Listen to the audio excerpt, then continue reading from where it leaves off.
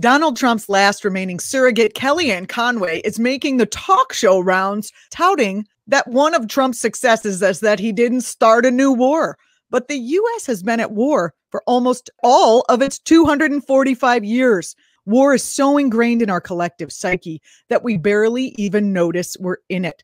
With me today, Michael D. Knox, author of Ending U.S. Wars by Honoring Americans Who Work for Peace. Michael, welcome to the program.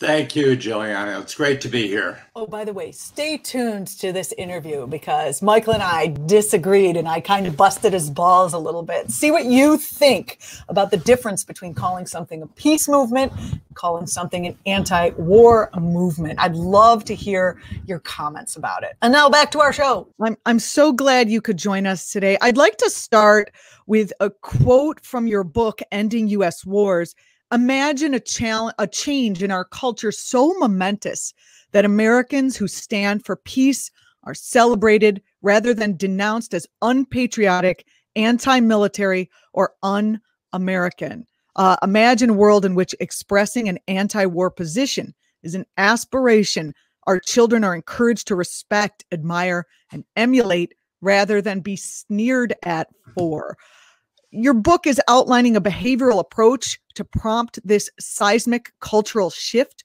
Can you talk about what motivated you to write it and why is now the time, uh, you know, for readers to engage with it? Well, the U.S. has bombed no less than 30 countries in my lifetime since the end of World War II. We've killed millions of people. We've maimed uh, tens of millions. We've destroyed economies and infrastructure. And uh, this kind of murderous behavior is continuing uh, under Democrats and Republicans since since the end of World War II. No other country in this world has killed as many people or made as many refugees. So we have a serious problem with war. We have a war culture in the United States, and it continues, as I said, no matter who is in the Oval Office or who is in Congress. So we need to make American people more aware of our war culture and how we might move towards a culture of peace.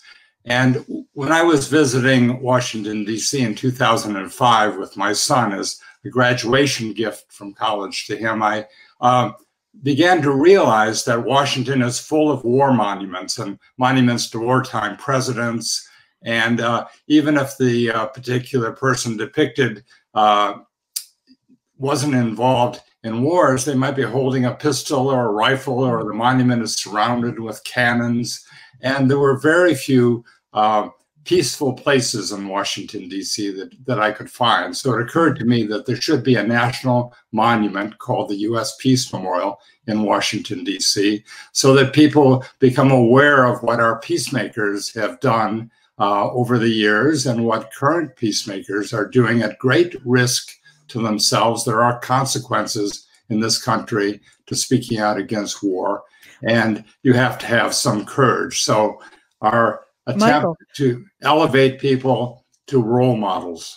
I, Michael, I have, um, I have often wondered why right next to in our airports the special lounge for the military there isn't a special lounge for the activists who are literally sometimes right there in the airport with signs etc i mean that would be well, nice. that's a good point. I mean we honor our military. It's clear. I mean even uh, president-elect biden's uh, speech uh, you know his uh, acceptance speech of the nomination ended with may god bless our troops and his speech accepting the victory as the president.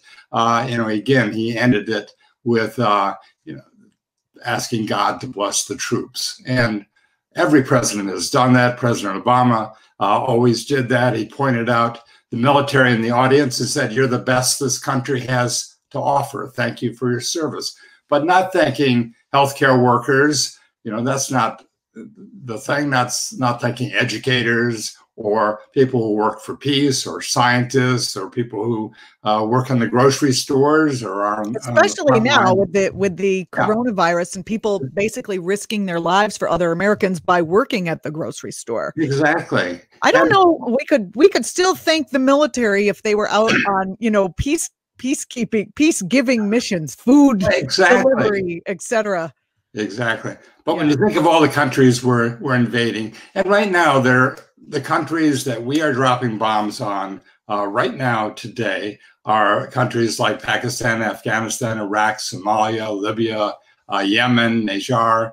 Uh, these countries are poor countries. They're underdeveloped. The people are impoverished. They have no means to defend themselves, much less attack the United States. And yet we continue to drop bombs on them, destroy their families and, and their infrastructure. I mean, and, most, most people who come at this issue don't come at it in the same way that you are. And I find it very interesting what you're doing. They come at it um, you know, the military industrial complex is making money dropping bombs on poor people because then they get to make more bombs and sell them back to the US. And, uh, you know, they tried to come at it that way. But you're making the case that what we need to do is a cultural shift in the United States. Um, and I really like that. Uh, can we talk about the U? First, let's talk about those systems that we have here that play into the culture. You mentioned just the iconography of Washington, D.C. How does the U.S. public education system play into the culture of war that you describe in your book? Well, the education system is part of it in many ways. In colleges, I'm a university professor. We have, of course, the uh, off the ROTC all over the place. We have defense to contra- contracts in the university, uh, textbooks that middle school and high school students read are just U.S. war. It's, it's war to war, industrial revolution, back to war, and war, and civil rights and war, and the space race and back to war. And there's no mention of people who've worked for peace. And they're just not elevated in this society. Our culture gives all kinds of discounts, uh, you know, park passes, national park passes for free to the military. There are all kinds of awards and discounts at uh, Home Depot and uh, various stores. There are always days to celebrate and honor people who serve in the military, but we need to honor other people in our society as well healthcare workers are, are just one, but educators are important, scientists are important, salespeople are important, everyone who makes our communities work. But instead, we're always focused on the military. It's hard to attend any event, whether it's a church event or an athletic event or or a public, you know, a city city council meeting without there being some mention of the veterans and the soldiers and all other groups are ignored. And this just tells me that the primary focus of our country is militarism. And that's that's what we do. That's how we make our money. And our representatives and in Congress are all bribed on a regular basis through ca campaign contributions by the people who benefit from war.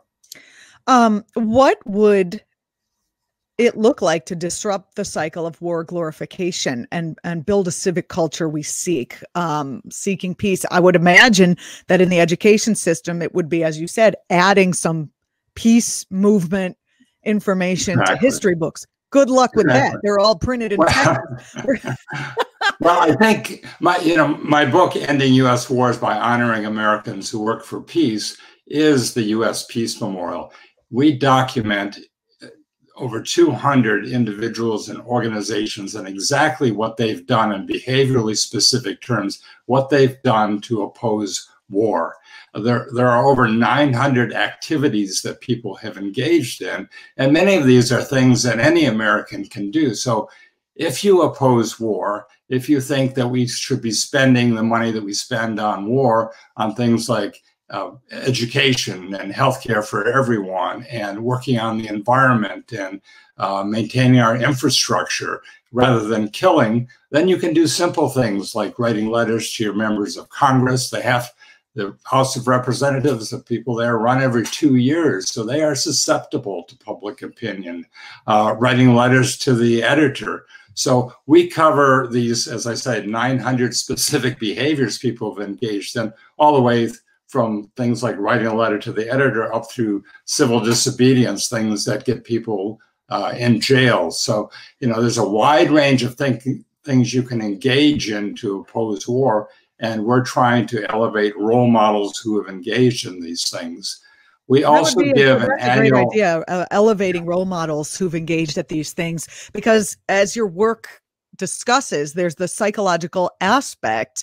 Um, t- could you could you talk about how the U.S. employs scare tactics and ideas of what American heroism looks like in order to keep the populace committed to upholding the culture of war?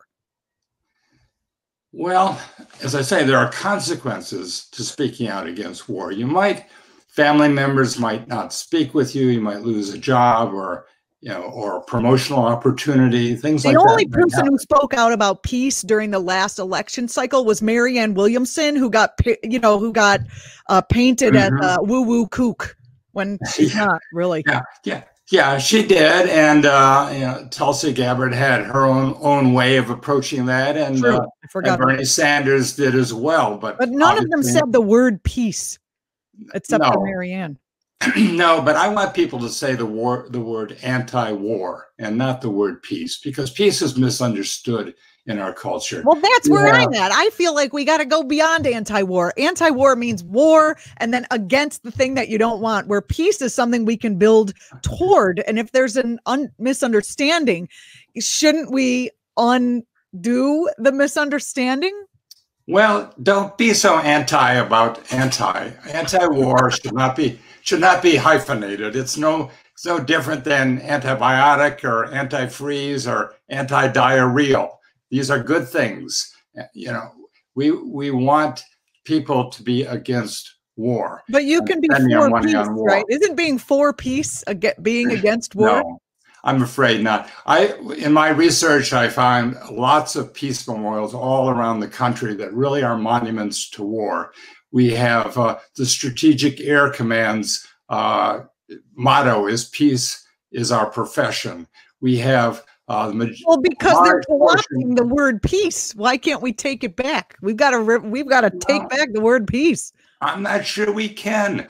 Even our our churches are involved in uh, in supporting war. It's not the military industrial complex anymore. It's you know religion, education, entertainment, sports. Everyone is involved in maintaining this culture of war. Yes. And when you when you think about the soldiers, I would say the majority of American soldiers that are involved in supporting or actually killing people are people who grew up in churches where they honored uh, a God they called the Prince of Peace and they respected the Ten Commandments and thou shalt not kill, and maybe the golden rule that you shouldn't do things unto others that you wouldn't want done unto yourself. And yet, uh, they, we go on and we kill millions of people, more people since World War II than any other country has killed. Michael invaded more countries than any other country. So peace is misunderstood. Well, you have um, you just named three different areas uh, we talked a little bit about education, but I really would like to bring up to people's consciousness maybe some un and you just mentioned churches some sort of ways that they are unconsciously being programmed to be pro war um, or war mongers even if they don't know it. Uh, talk about where we see this in well, the culture. I know where you mentioned sports well, me, yeah i mentioned sports because during the obama administration obama you know essentially paid NFL teams to have patriotic halftime shows honoring the soldiers. And they would they would trot out some military or some veterans, everyone stand for them. And they actually pay the New England Patriots and the other teams millions of dollars to do that. So that got carried over naturally to college teams and high school teams. And every time they have a halftime show, or several times during the season, they will focus on the military. And that's just one way that it's insidious. The government pays and reinforces it. And uh, one of my favorite comedians, uh, George Carlin, talked about how some sports, including football, I can't. He he said, you know, that baseball used to be the national nat- national pastime where people just stood in the field and you you know catch and run. And um and then it became football which was far more warlike in its playing. And i i just mm-hmm. thought that was very genius because there is uh you know an underlying psychological aspect of being involved in something like watching football yeah, yeah, I, I, guess that's true. It is. It's not necessarily sport. just the flyovers, which is also a problem, but the actual football that makes you love fighting war, tech, tech, tactical. Mm-hmm. You know. Well, you mentioned flyovers. Interesting. We should be honoring the healthcare workers who are putting themselves at great risk. So uh, the government, uh, in its effort to honor uh, healthcare workers had flyovers of fighter jets all around the country. These fighter jets were, you know, reminding us of the connection. I guess they were trying to create a connection between war and killing and healthcare workers by having these kinds of flyovers. So oh that's fighter jets, yes, to honor healthcare workers. Can you imagine? How about no. sending them some masks? How about dropping masks out of the sky? How about that? Exactly. And not just them. I mean, you and I should be able to buy N95 masks, the masks that really work. We should be able to get them.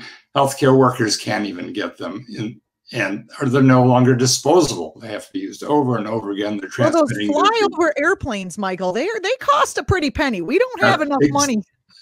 exactly. Exactly. Uh, they do. And we need to do something. There are great there are connections between so many of the things that are happening right now. The the insurrection on January 6th, uh, the uh, you know police brutality, uh, the way we're celebrating healthcare workers, and we don't have enough money for vaccines. Uh, I can't get a vaccine. There, you know, people that need them can't get them. We can't get masks. There are connections between this and the military and the fact that we have a culture of war. Mm-hmm. And our young people are taught, and I think you saw it on January 6th, our young people are taught uh, by our country, by our leaders, that if you don't like what some other person, or in this case, country, is doing, you don't like their behavior, you don't like their religion, you don't like what they stand for, or if they have something you want, what do you do? You fight them, you bomb them, you disrupt them, you change their leadership. And that is not the message we want to give to the American people. That's what they tried on January 6th because they didn't like the decision that had been made. We see the police departments hiring military veterans who are trained to kill. They're not trained in social work or psychology. They're not, they're not trained to negotiate. Most of their training is about using weapons and marksmanship. And under the Obama administration, special incentives were set up to be sure that the local police hmm. departments hired military veterans rather than people that might be better able and better suited for uh, local police departments. That led, I think, to more brutality and the fact that the military gave weapons, the Defense Department gave weapons, military grade weapons to local police departments uh, led to police brutality in, in, in greater form. So they we should have given them some flowers. I mean, really, can we can we get a little softer here? We're speaking with Michael D. Knox, psychologist and distinguished professor emeritus, founder of the U.S. Peace Memorial Foundation, and now the author of the new book, Ending U.S. Wars by Honoring Americans Who Work for Peace. Dr. Knox's mm-hmm. longstanding peace and anti war activities began in 1965 in opposition to the war against Vietnam, Laos, and Cambodia. I like how you put that in there. You don't forget those other countries that we also murdered and killed in. in, in 2005, uh, Michael Knox founded the U.S. Peace Memorial Foundation, which he currently chairs. Michael, final question. Uh, and I do thank you so much for coming on the program here today. Can you talk about the U.S. P- Peace Memorial Foundation? How does the work you do there dovetail with the conclusions that you draw in the book, Ending U.S. Wars? Well, thank you. It's a 501c3 not for profit organization. Uh, the U.S. Peace Memorial Foundation has three aspects to it. One is the U.S. Peace Registry, which you can read in the book or online at uspeacememorial.org. The U.S. Peace registry documents what hundreds of Americans have done to oppose war. From that set of individuals and organizations, every year we choose someone to receive the U.S. Peace Prize. We've given the U.S. Peace Prize to people um, such as Cindy Sheehan, Dennis Kucinich, Noam Chomsky, uh, um, Medea Benjamin, Christine Ahn, Ajamu Baraka, David Swanson, Ann Wright, Veterans for Peace, uh, Kathy Kelly, Code Pink, Women for Peace, a variety of organizations, Chelsea Manning, uh, organizations and individuals over the last 12 years. And the third project is we're raising funds to build a national U.S. Peace Memorial, national monument in Washington, D.C., where we will document what these Americans have done. And we will surround it with uh, quotations from famous Americans, quotations that will help to change our culture because people will see that great Americans, Americans they've heard of and respected, like Margaret Mead and Helen Keller and Dr. Martin Luther King Jr. and Muhammad Ali, various presidents. Um, people have opposed war in very strong terms, such as Albert Einstein saying that war is nothing but an act of murder. Uh, so we think that having a monument, having living role models for peace, are reinforcing their behavior, documenting exactly what they've done in a behaviorally specific way is a good way for Americans to know that they can change the culture and our culture can change it. There have been significant changes in my lifetime regarding gender and race and LGBTQ and we knocked down a bunch marijuana. of those statues yeah, yeah. Things Lots of changes, and it's quite possible that we can move towards a culture of peace. And I hope that your your audience will read "Ending U.S. Wars" by honoring Americans who work for peace. Michael D. Knox, author of Ending U.S. Wars by Honoring Americans Who Work for Peace. You can follow the Peace Memorial on Twitter at U.S. Peace Memorial. Thank you so much for being here with us, and thanks for the work that you do. Thank you, Julianna. Thank you very much. You're watching ACT TV. Don't forget to subscribe to our channel. We have all kinds of great stuff on it. Thanks for watching. You can follow me, Julianna Forlano, on Twitter and follow ACT TV across platforms where we're still allowed to be.